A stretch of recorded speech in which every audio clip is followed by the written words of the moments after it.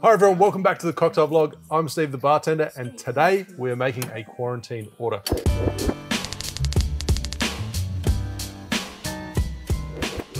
This comes from Matt Pietrek, or otherwise known as the Cocktail Wonks um, Minimalist Tiki cocktail book. I only recently bought this. I haven't had a, a lot of time to, to flick through it, and but it, it, looks like an awesome book. There's a lot of detailed uh, recipes, heaps of awesome tiki recipes, uh, lots of beautiful photos as well that uh, inspire you to, to mix some of these drinks.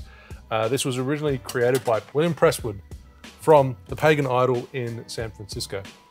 So I'll leave a link to um, this book. This is not sponsored, but this is a fantastic book. So if you're into tiki, if you've got a copy of Smuggler's Cove, then this should be your second book. Um, it's, yeah, although I haven't read into it a lot, it looks amazing. There's some wicked cocktails, beautiful photos. It's a good book. Get into it. Okay, onto the drink itself. So this one's served up in a brandy balloon or brandy snifter, whatever you like to call it. And it calls for a, a split rum base. Uh, it calls for Jamaican signature, sorry, Jamaican signature, um, Appleton Estate signature, and also rum bar gold, but I'm substituting in for Smith and Cross. So it calls for 45 mil or 1.5 ounces of each. So I'm gonna get straight into it. And it calls for a lot of classic uh, Donn the Beachcomber ingredients. So it's got grapefruit juice, cinnamon syrup. But first of all, the Jamaican rum. Well, they're both Jamaican. We've got Appleton, Signature, Smith & Cross, if you want to stick to the original, Rum Bar Gold. So 45 mil, 1.5 ounces of each, and 30 mil,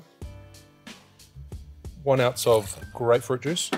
I'm using Ruby Red grapefruit juice, but I'm assuming the original is white grapefruit, but these are easily available. And we use them in our threefold aromatic gin, so therefore I've always got grapefruit on hand. Then 30 ml of fresh lime juice,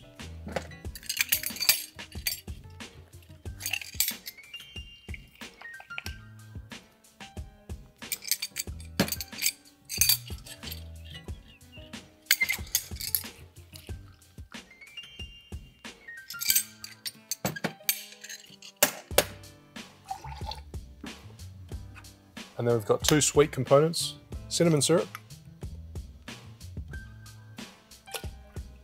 15 mil, half an ounce, and likewise for passion fruit syrup. So this is just literally two seconds before the video, I just mixed in simple syrup with a fresh passion fruit. You could strain the seeds out, but I think it kind of adds to the drink. So 15 mil, half an ounce.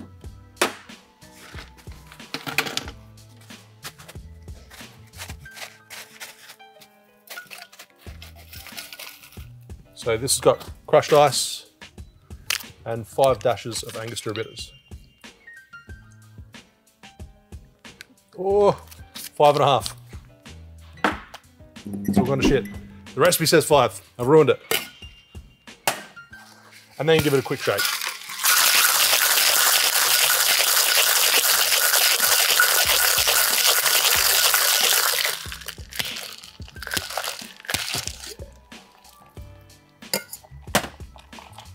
And then pour the contents of the shaker.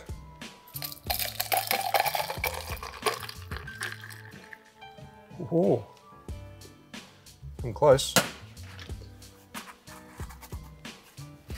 I'm going to top this up.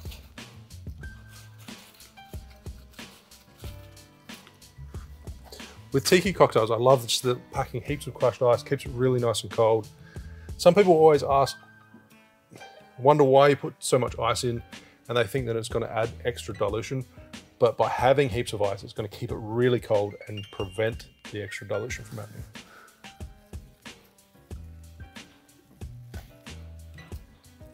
So garnish, mince sprig, a lime wheel. Thanks, Aiden. and a maraschino cherry.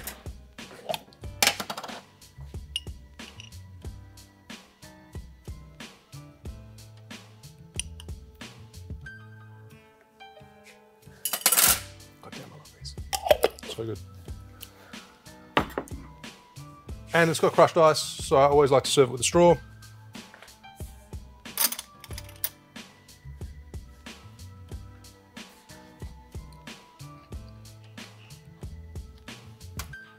Damn.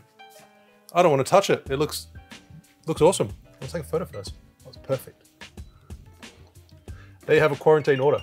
Cheers.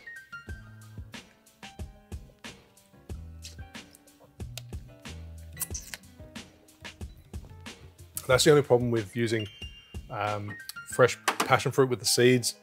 They do jam up the straw a little bit. Uh, the first thing that just comes into play is the Smith & Cross, that overripe banana Jamaican funky rum. For those that aren't familiar with rums or aren't big drinkers, like sometimes those kind of descriptions could turn you off, but it, it is, it's, it's a good flavor. That's a good thing, it's a positive thing.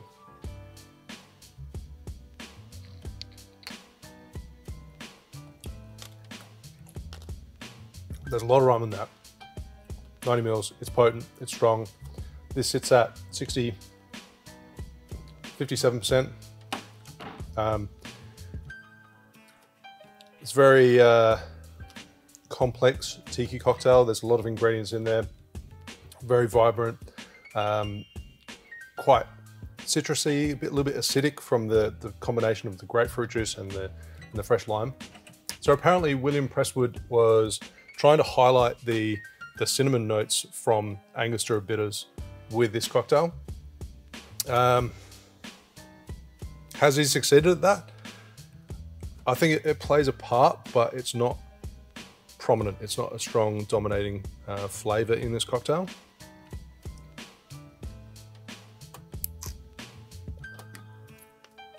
It's delicious, but if you didn't know the cinnamon was in there, you, you might not pick it. It's intense. It's lovely. Thanks for watching. Make sure you like and subscribe, and I'll see you soon for some more tiki cocktails.